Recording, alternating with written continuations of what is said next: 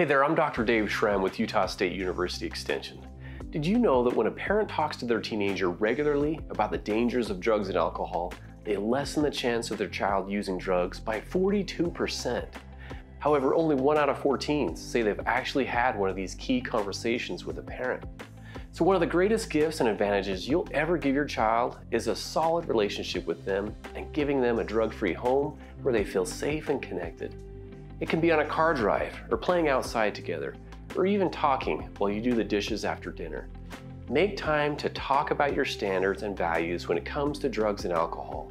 Let them know where you stand. It's not easy growing up as a child today. They were born to do more. They were born to be better. Talk to your kids. They need you now more than ever. Be involved. Be a role model. Be there. For more information, visit relationships.usu.edu.